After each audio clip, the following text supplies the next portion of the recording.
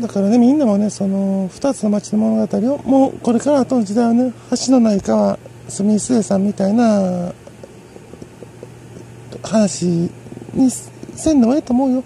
ライトノベルみたいな形で上手に2つの町の物語をねまあ例えば宮崎駿さん調で表現してたらいいんちゃうかな作家たち。その方がいいでしょ。だってブラック差別解消法で一応成立はしたし。ね。だからラノベ形式でライトノベル形式でどんどんどんどん2つの町の物語について表現していったらいいんちゃうかなって。なまあいろいろ。それをそっちそれを始めたら批判いっぱいみんな食らうと思うけど。